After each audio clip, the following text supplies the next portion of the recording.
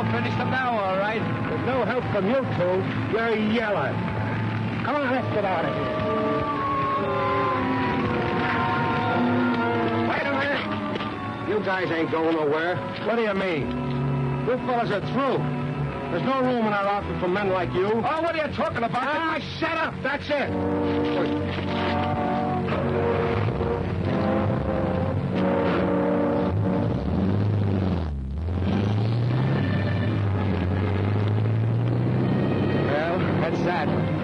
don't even know who he was working for. It was set for not finding out. He might collect a little hush money. Ain't too late. They ain't too far ahead, you know. Well, I ain't fit for running now. Don't have to do any running as long as I got this. Come on, let's pick up a ride. Yeah.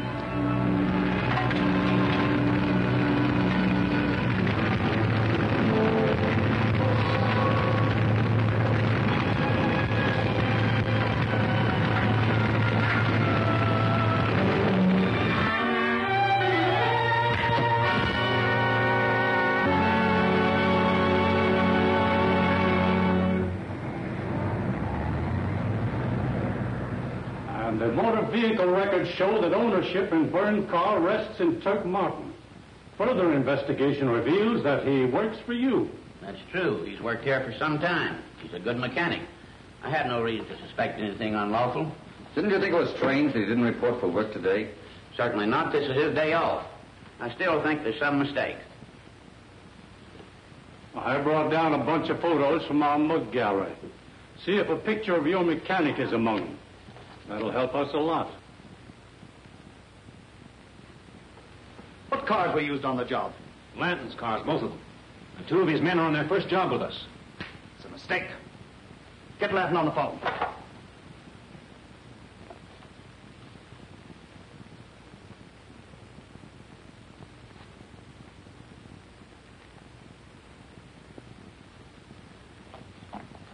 I recognize none of these men. Are you sure? Certainly I'm sure. I never saw him before in my life. Thanks for that. Tell him I'm busy. Lanton Garage. Give me Lanton. Why, he's very busy. Could he call you later? No, you fool. He can't call me later. I want to talk to him now. This is Abel Bellamy. Some man by the name of Abel Bellamy insists on speaking to you on the phone. Pardon me. Mr. Bellamy is one of my best customers. Quite all right. Hello. Hello, Mr. Bellamy. I'm sorry. I, I, I can't give you any news. All my shipments are tied up. What dribble is this? Speak up, man. I, I can't. Restrictions make it impossible. I'll phone you just as soon as I get a release. Thank you. Goodbye.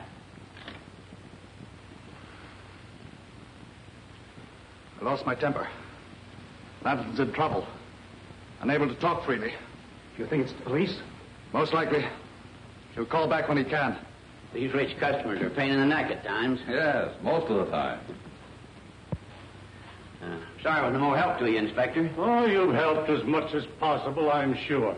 Well, I'm always willing to help the police force. Drop in any time. Yes, we'll probably take advantage of that. Yes, do.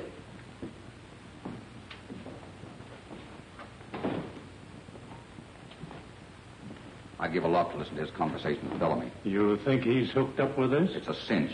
Lanton's probably on the phone to him right now.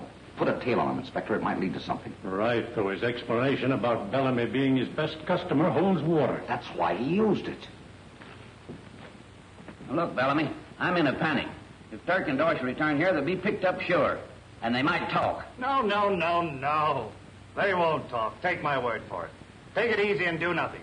And above all, stay away from here. You'll be watched. Well, do something and do it quick. The next time I say I'm busy, I'm busy. Your guess was right, Savini. It was the police. That's right, Savini.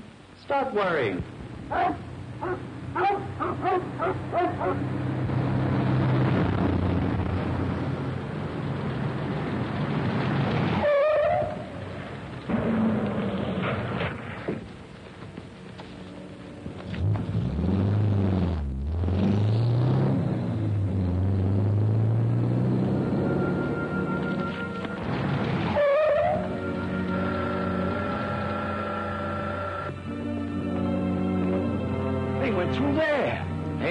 Be a swell outfit to have a hideout like this. We'll make them cut us in or pay us plenty. Yeah, I know, I know. But first we gotta get in. Or I can get over that hedge. Come on, give me a hand.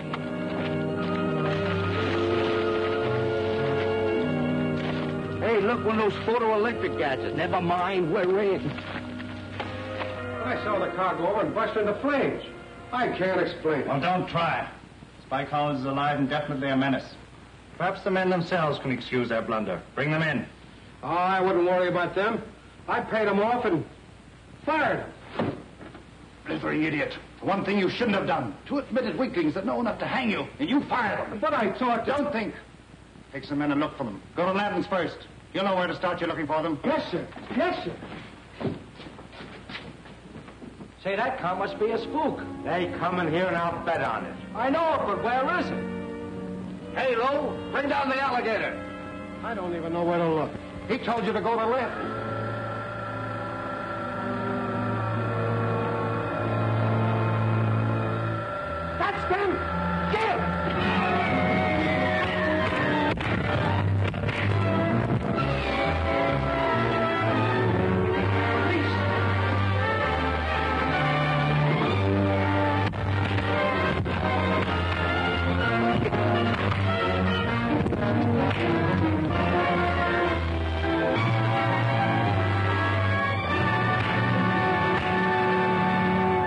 You two signed your death warrants when you followed me here.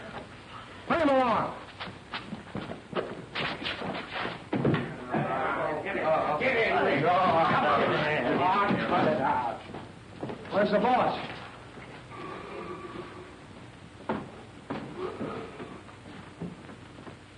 I got him, boss. Quick work. I congratulate you. He didn't get us. We were trying to get in. Anyway, they're here. You say the word, we'll blast them. Release them. I'm surprised at you, Bruner. You haven't proved a case against these men. Of course he ain't. We done our best and was coming here to tell our side of the story. There, Bruner. You must judge them. But you said you... I said things look bad for them. But by coming here themselves, that's all changed. We can use them to good advantage. Sure you can. There's no job too tough for us. I sure hope not. Because it happens I have such a job.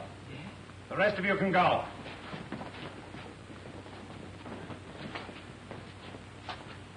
As I was saying, I happen to have a very important job. You can beat that? He changes his mind just like that. Don't you worry. He knows what he's doing. Well, that's the job.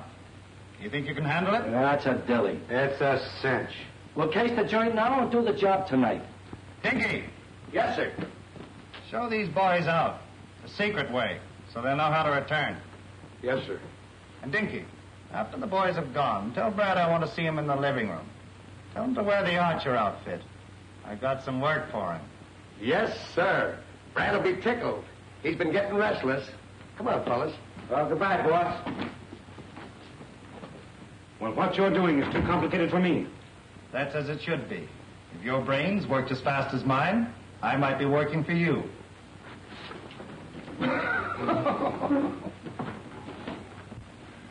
you sure you understand? Sure.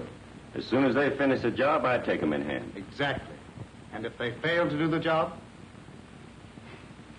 then plant this note where it'll be easily found. The boss, this is, tells them where we're going. Well, that's my intention. They're not saps. What if they don't fall for it? My plans are such that they'll be glad to.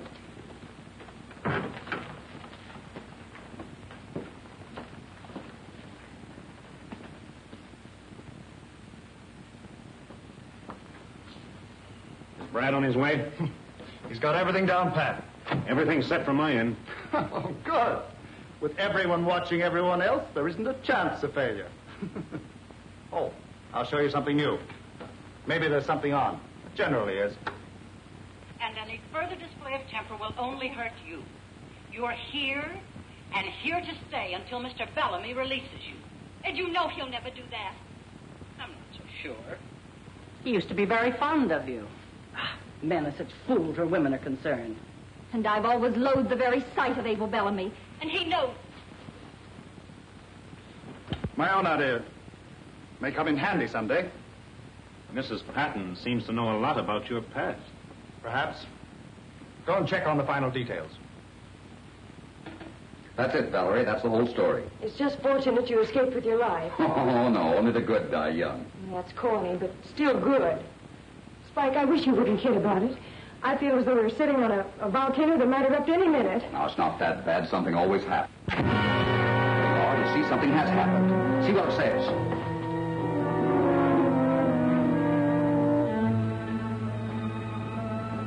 Read it, Valerie. Be on your guard after tonight. Watch for visitors. The Green Archer. Do you believe this? Why shouldn't I believe it? The Green Archer's proven himself our friend so far. Where's your father? Upstairs taking a nap. I'll get him. Oh, Dad! Your father's resting, miss. Shall I wake you? Never mind, Henderson.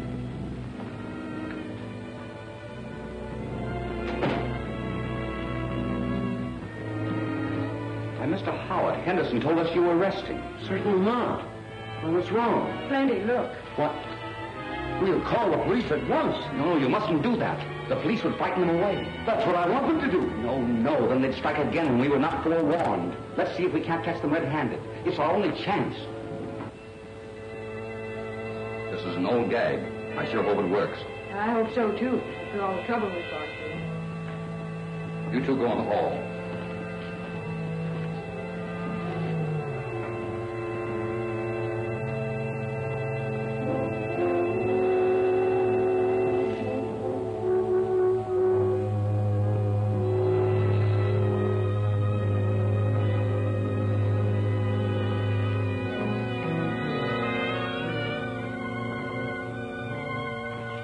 Right, both together.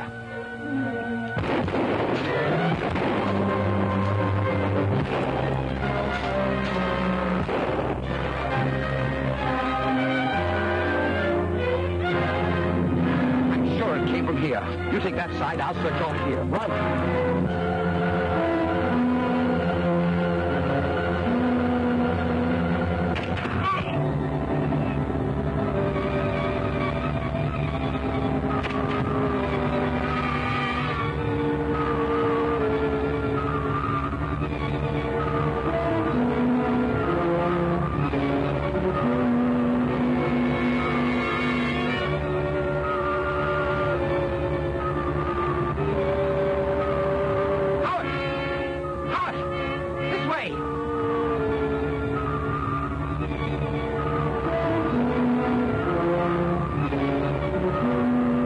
The Green Archer. Listen to this. I found one of the men. When the job is finished, come to Clark's warehouse. The girl will be there. What does that mean? Looks like a plant. It mentions a girl. It might mean Valerie. Impossible. She's safe in the house. Valerie!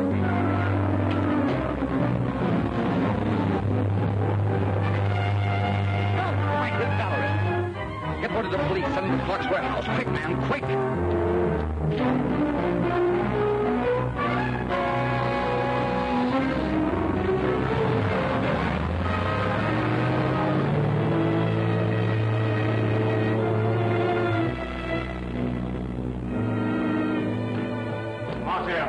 She yet? Slap her down. little more to the right. Set it right on the door. Hurry up with that thing. It's all set.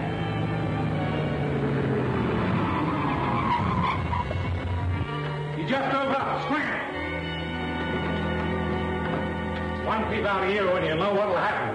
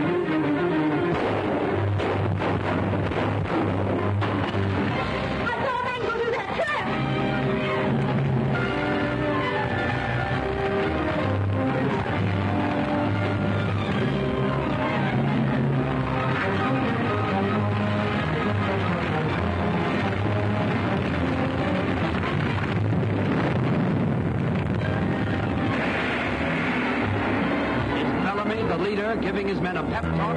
We think not. He's angry because his plans are going wrong. The ceiling of death. On whom are these knives about to fall?